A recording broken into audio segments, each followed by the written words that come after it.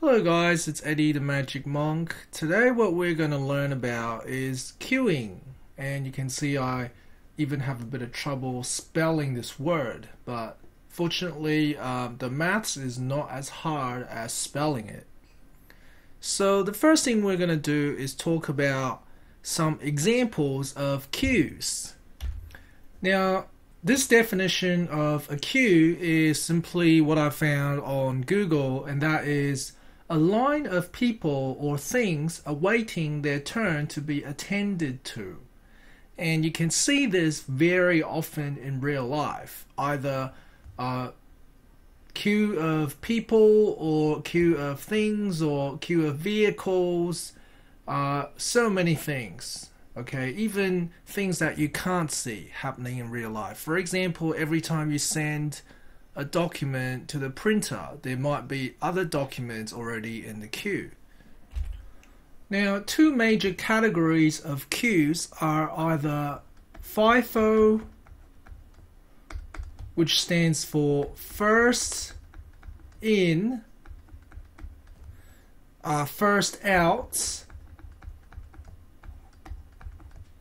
or LIFO, which stands for last in, first out. So I'm gonna give you guys uh, an example of each. So first in, first out is usually what happens with most queues formed by people e.g., people at the supermarket, right? It's called first in, first out because the people who arrive at the queue first are the people who get served first, and therefore they exit the queue first. So you might think, well, when does LIFO ever happen, right? Because pretty much everything that you can think of right now with queues, people will arrive, people who get into the queue first will get served first. For example, people getting on a bus, right? Whoever gets to the queue first usually gets on first, uh, assuming that you're all standing in line, which is uh, the right thing to do. Now, with LIFO, it's the opposite of that. And it usually happens when you are moving things. So, for example, using an elevator to move things, or uh, putting things in a truck. Okay, uh, moving stock.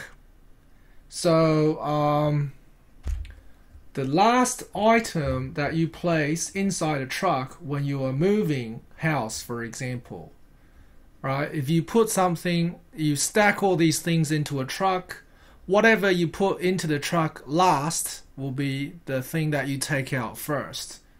So yeah, LIFO last in first out. So basically, queues can be classified into these two major types. Okay, let's talk about some more definitions. This video is sort of going to be like a video of all the definitions you need to know, which is a little bit boring, but you do need it. So we've just talked to you about first in, first out.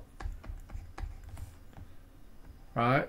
Uh, and now, from this category, I'm going to now split up these into four further categories.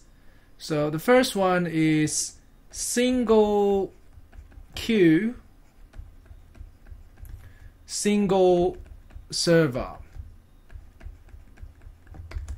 And this usually happens at a very small shop. Okay, if you imagine you have a very small shop and this is the checkout counter and someone is standing here serving the customers and all the customers are lining up here and then when they when it gets to your turn you come down to about here alright and the person takes your money and then you can leave the shop right? That's single queue single server. There's one line and there's one server. There's one server here that takes your money and then you get you get out of the shop. Okay, so that's the first category inside first in first out. Now it's first in first out because obviously if you if you are joining the queue first, so whoever this person is is going to come out and people who join the queue last is going to come out last. So that's the first category. Okay, the second category is single queue multiple servers. Okay, multiple servers. So imagine at the bank or uh, actually let's do the airport. Let's do the airport. So at the airport, you will often see queues that um, look like this, right? And you have to you have to uh, line up uh, within this line.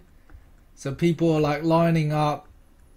People are like lining up through all these uh, whatever you call them. Uh, I'm just gonna say zigzag queues. I don't know if that's the right word, but all of these people lined up, and then finally, if you're at the end, there are multiple counters that you can go to. Okay, so let's say this is the end of the line, and then you can either go to here or here, depending on which counter is free Right, so basically you got one single very long line. Okay, you got one single very long line, and then once you get to the end, you can go to one of these um, counters to be served. So that's single queue, multiple server. Third category, now, I don't know if you guys have been skiing before. Uh, if you have, I hope it was a good experience for you. For me, it was, you know, uh, okay. So basically, what happens is you have some sort of a ski lift. You're trying to get on this ski lift, and this ski lift moves you up the mountain, right? But to get on the ski lift, what happens is there are about six different lanes of people and people just all lined up. All of these people lined up within each lane. So it's multiple queues. And then once you somehow get to the end, somehow it's your turn to get on one single server that's going to uh, drive you up uh, the mountain. So yeah, uh, that's multiple queue single server. And then the last example, well, let's just do a supermarket one. Multiple queue, multiple server. So at the supermarket, you will typically get a lot of counters. Right, and each counter there will be people lining up for it and there will be a server at each counter taking your money Alright, and then you got multiple queues, multiple servers. Multiple queues, multiple servers. So, and then once you get served, you exit out the supermarket, which is really good. Okay, um, so what else? Now, I'm just going to talk about three more definitions. I know you guys are falling asleep. Three more definitions, and we're finished uh, this lesson. So we haven't finished queuing because we haven't really started the maths. But there are three terms I want you to introduce to you, and then we can finish this lesson. So let me just write them down first.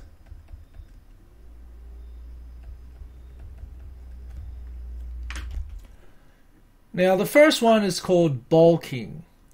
Baulking happens when, for example, you are someone who is just purchased some food, uh, sorry, just took some food at the shop, at this shop that we talked about with a single server. And let's say that you plan to buy this food, but you looked at the queue and there was 30 people waiting in the queue.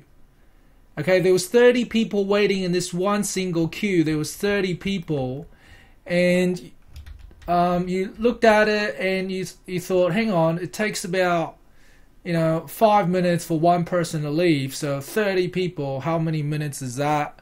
And it hurts your head thinking about it. So you don't even enter the queue. You just leave. You just leave the store. So that's called uh, baulking. Right? You look at you look at the queue, you think it's too long, and you leave the store.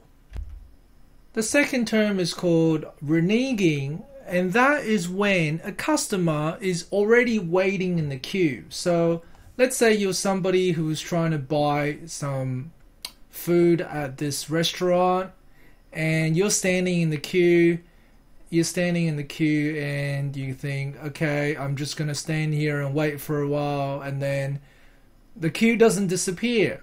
Okay, it's been a long time. Something is broken in the kitchen, so you just can't get your turn. So you just give up. Okay, so that's called reneging. So that's when the customer is tired of waiting in the queue and leaves. And last one, jockeying. And that refers to people moving from queue to queue. Customers uh, for example, at the supermarket, you would see that most often you wait in this aisle for a while. In this aisle, somehow the machine is broken, and you thought, "Oh, well, it's taking too long. I'm gonna, I'm gonna jump to this other queue where it seems to be going a bit faster." And then this queue suddenly and then as soon as you leave, this queue goes fast, so you come back, and yeah, people jumping between queues. That's called jockeying. Okay, I hope you guys have some under some concept of queuing. I know that this is just some definitions, and you probably think, "Oh, where is the math?" Well, that's coming up, but it's sort of hard for you for us to just get straight into the maths if you don't have understanding of some of the basic concepts. So I hope this video has helped you some way. Thanks for watching guys. See you in the next video.